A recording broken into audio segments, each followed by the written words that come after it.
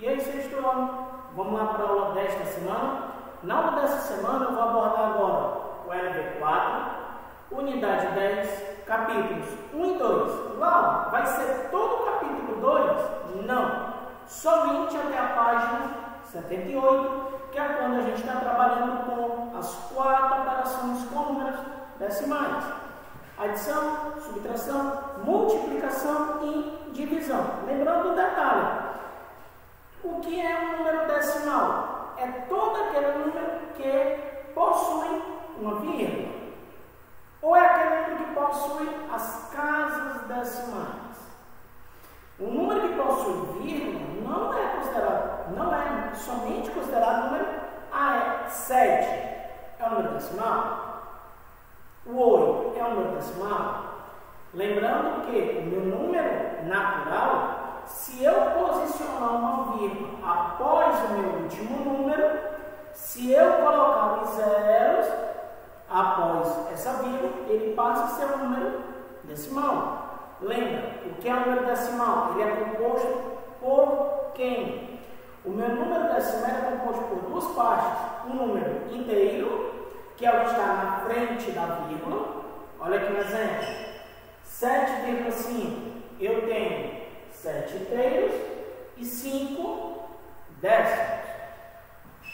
5,43, 5 inteiros, 43 centésimos. Tá bom? E isso são números decimais. Glauber, mas decimal não é somente com 10? Não. As frações decimais são aquelas frações cujo o denominador, certo? Ou seja, lembra da aula passada? O denominador, o número de baixo da sua fração, ele pode ser um múltiplo de 10, ou seja, o 10, o 100, o 1000, o 10 mil e assim por diante. São frações decimais, tá bom? E os números decimais são esses números compostos por número inteiro e a minha parte decimal. Tá bom? Vamos lá para as operações. Na adição e na subtração, eu tenho que seguir uma regrinha básica. Ó. Na adição e na subtração, vírgula embaixo de vírgula. Glauber, e se por acaso, um exemplo aqui, ó, o meu número, ele tem, o número de cima, o meu número tem uma casa um número de trás da vírgula e o outro ali tem três. Eu tenho que deixar ele em branco ou eu sou obrigado a colocar algum valor? Pessoal, a ideia de ser obrigado é assim. Lá na adição, lá no primeiro bimestre e lá no quinto ano de vocês, vocês começaram a trabalhar com as operações da adição. E tem uma operação que ela diz assim, o elemento neutro. E o elemento neutro da adição é o zero. Isso quer dizer o quê? Que qualquer número somado ou acrescentado zero, a minha resposta é que eu já tenho, não muda. Agora, na subtração, sim, você vai ser obrigado a preencher os espaços, tá bom? Em branco com zero. Glauber, por quê? Porque o zero ele não é o elemento neutro da subtração. Não existe. Tá bom? E essa parte de elemento neutro. Então, se por acaso você está resolvendo a adição e os espaços ficou o número sem ninguém, seja o número de cima ou o número de baixo, você pode colocar um valor do zero ou não, fica a seu critério. Agora, na subtração, sim, é obrigado a colocar. Tá bom? Então vamos lá. Lembrando que posicionamento da adição e da subtração, a vírgula ela interessa, ou seja, sempre posicionando vírgula embaixo de vírgula. Então vamos lá. Na adição eu tenho 5,78, ou seja, 5 inteiros e 78 centésimos, mais 4,359 ou 4 inteiros e 359 milésimos. Olha só, o 9 está sozinho.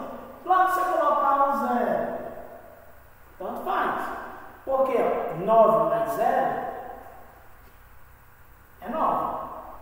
Lá você não colocar, você iria baixar o número 9. Não tem ninguém para somar com ele. E o restante, a gente efetua a soma. 5 mais 8 13. Sobe 1. 7 mais 3 dá 10. Mais 1 que subiu, 11. Sobe 1. Olha só, vírgula embaixo de vírgula.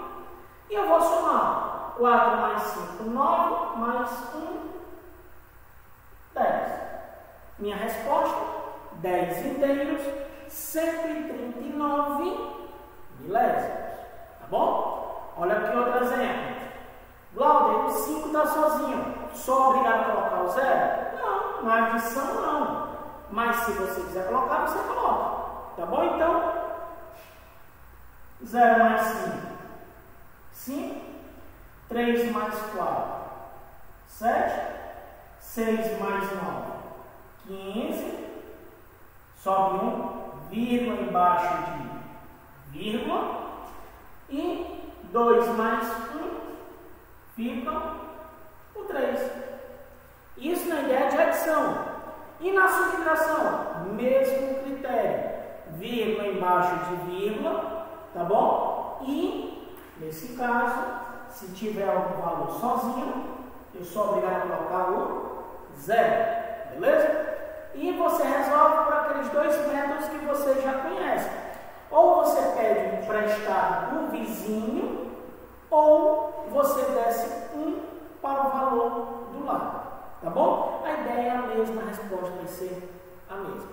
Tá bom? Então vamos lá. Zero, não dá para tirar três.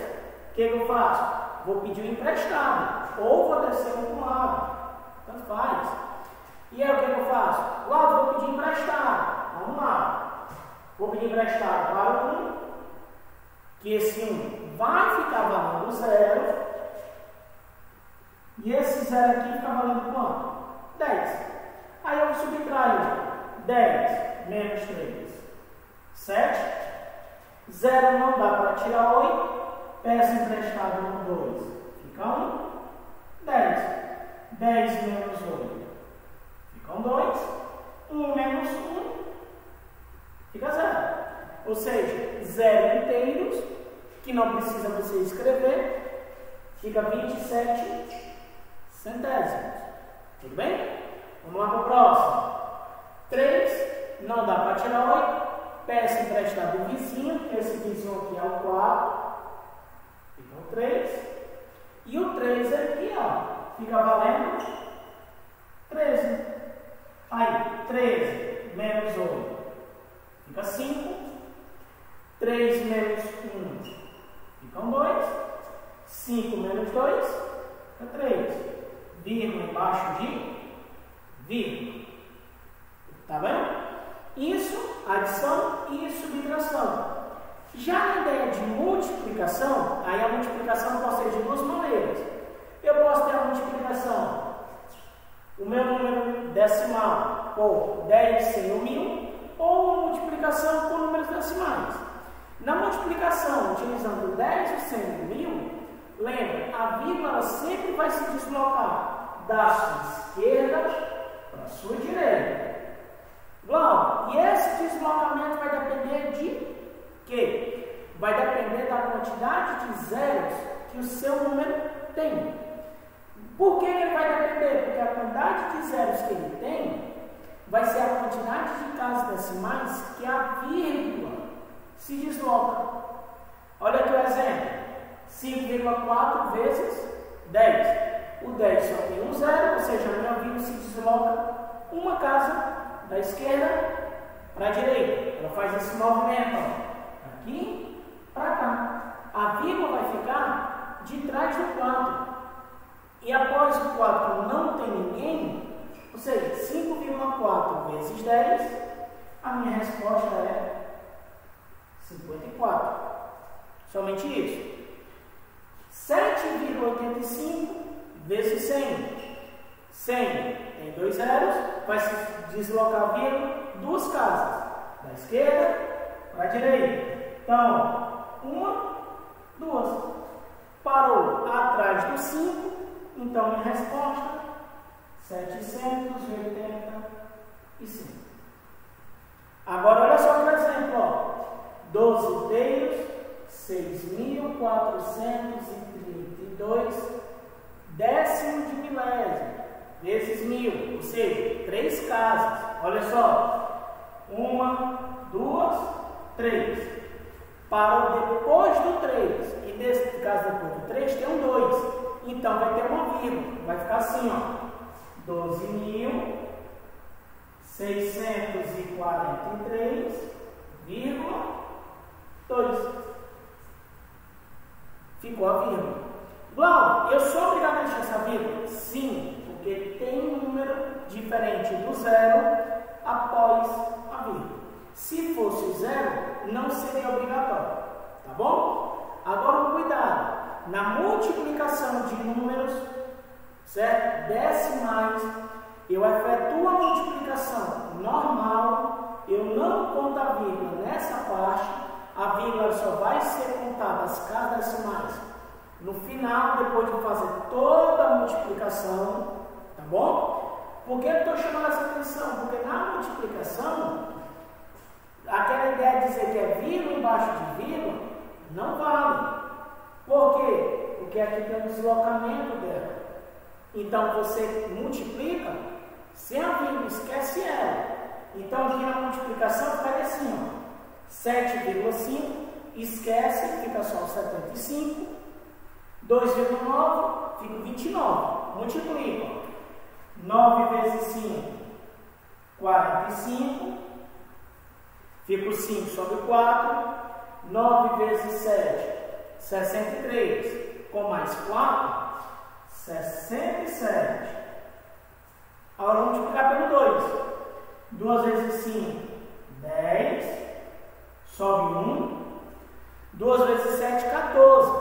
Com mais 1, olha só. O 15. Aqui eu somo. Logo a vírgula, após a soma. Tá bom? Então vamos somar. Desce 5. Não tem ninguém para somar com ele. A gente repete. 0 mais 7. 7. 5 mais 6. 11. Sobe 1. 1 mais 1. 2. Agora sim eu vou posicionar essa vírgula. Aonde? Eu vou juntar as casas decimais que possuem tanto o multiplicando quanto o multiplicador, ou seja, tanto os números de cima quanto pelo de baixo. Eu vou contar ao todo da seguinte maneira: aqui eu tenho um valor e outro valor. De trás da vírgula são dois. Então vou contar dois números. Agora o inverso, da direita para a esquerda, certo? e vou posicionar vírgula. 1, 2, parei no 7, vírgula.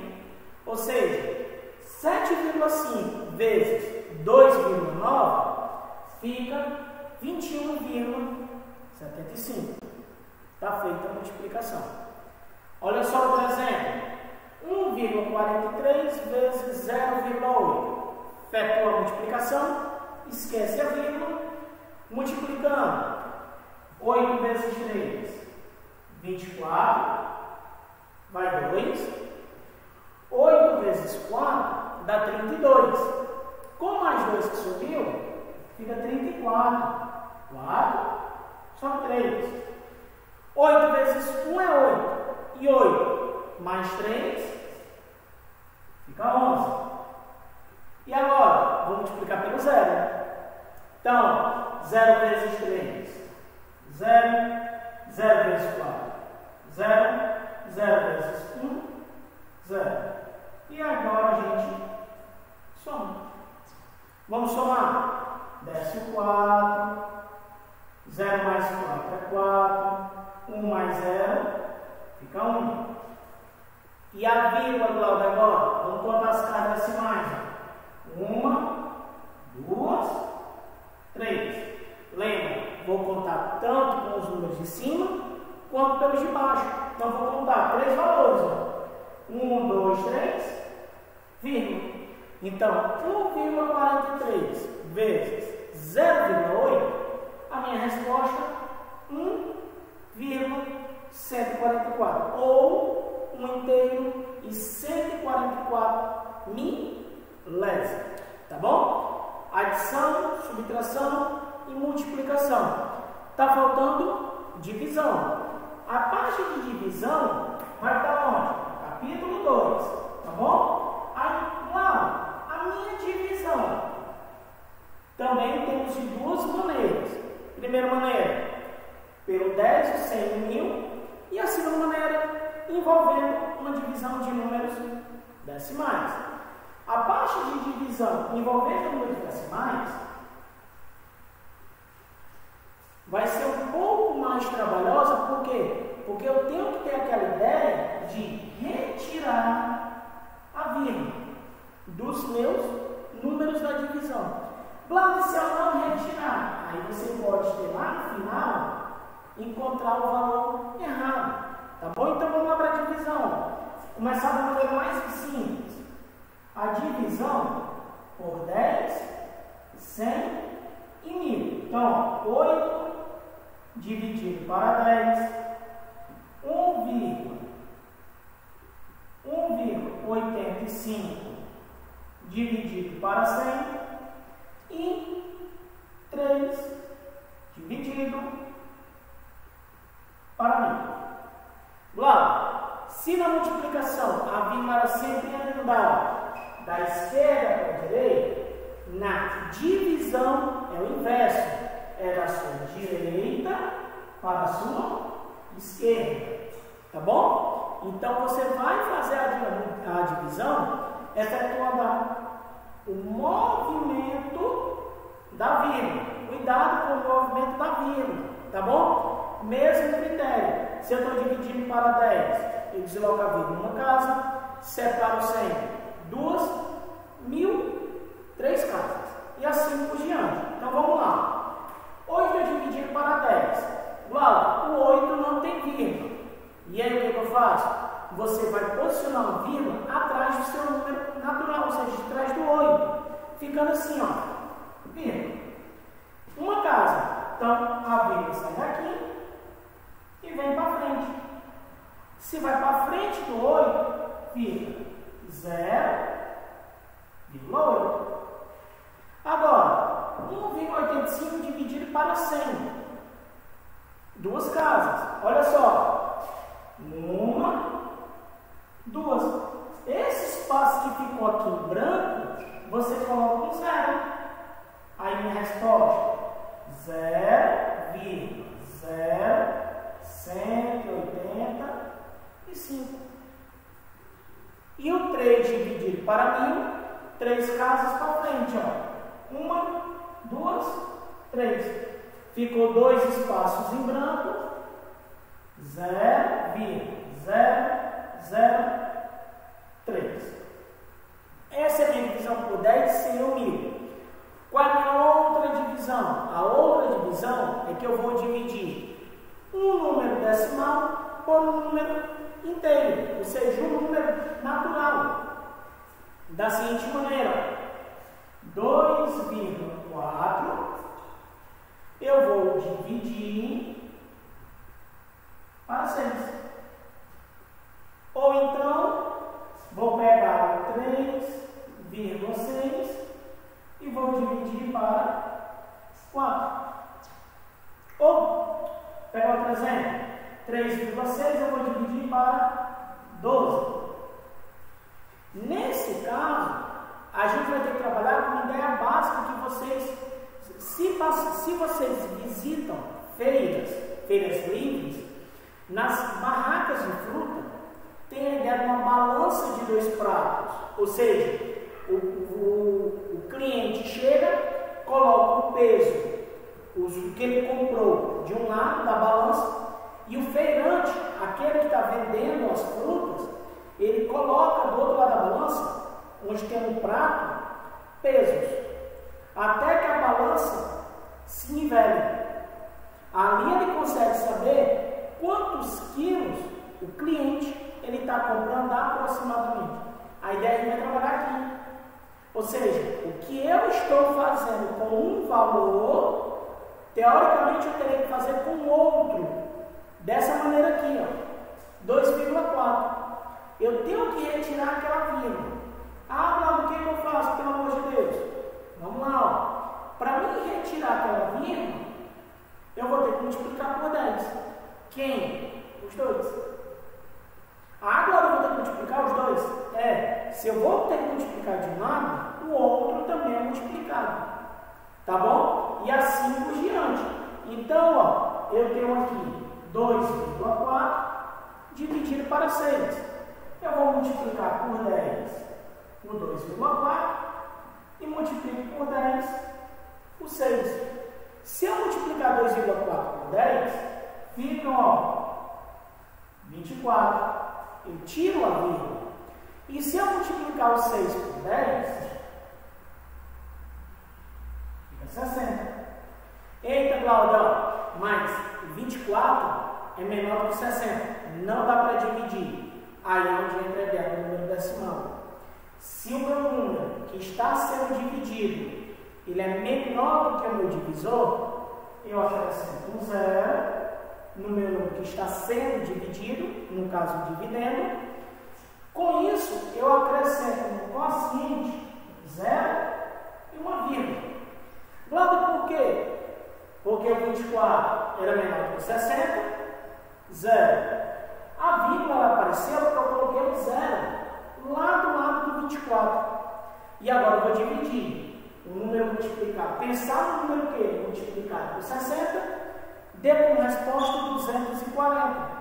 E aí você começa a pensar. Nesse caso aqui, ó, é o 4. 60 vezes 4 dá 240. 240 menos 240, zero. Ou seja, 2,4 dividido para 6 é 0,4. Naquele outro exemplo, ó, 3,6 dividido para 12. Eu iria de novo multiplicar, eu vou de novo multiplicar pelo 10, ficando 36 dividido para 120. Logo, 36 é menor que o 120. E aí? Zero. Ah, mas ele continua menor eu coloco um zero e aqui uma vírgula. E aí, vou pensar no número que multiplicado por 120 me dê como resposta o 360. E nesse caso aqui, ó, é o 3. 120 vezes 3 dá 360. 360 menos 360, zero. Glauco, se os dois tiverem casas decimais, se for assim, ó, 1, vírgula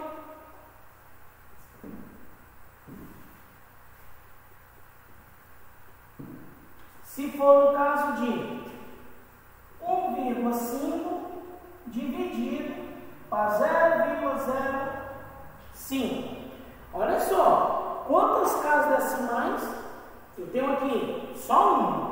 E aqui, duas. Então lembra, a ideia da balança, o que eu faço um lado, eu tenho que fazer do outro. Eu tenho que tirar vírgula. E eu sempre vou pensar no maior número. Então assim, ó, aqui eu vou multiplicar por 10 e aqui eu multiplico por 100. Eu posso multiplicar separado? Não. Tem que ser pelo mesmo valor. Então vou multiplicar por 100 nos dois. Quando você fizer a multiplicação por 100, eu tenho aqui, ó, 750 e 0,05 de multiplicado por 100 fica só 5.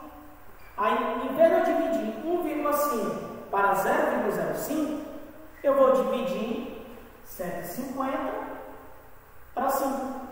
Aí você vai achar que é o número 30. 30 vezes 5 dá 150. 150 menos 150, zero. Então, observa que a divisão ela trabalha com a ideia da multiplicação por número decimal. O 10, o 100 e o 1000. Tá bom? Então, revise o conteúdo de vocês, as quatro operações básicas lá no LV4, na unidade 10, capítulos 1 e 2, das páginas 62 até 72. Estude para a prova e continue resolvendo a atividade complementar de vocês, tá bom? A correção da atividade complementar, a gente vai resolver ela junto com as videoconferências, somente revisão e correção da atividade, tá bom? Se tiver dúvidas relacionadas ao assunto, vocês vão ter que procurar nas videoaulas, beleza? Então, pessoal, estude, tá bom? E revisem o assunto. Fiquem com Deus e boa sorte na prova. Tchau, pessoal. Até a próxima.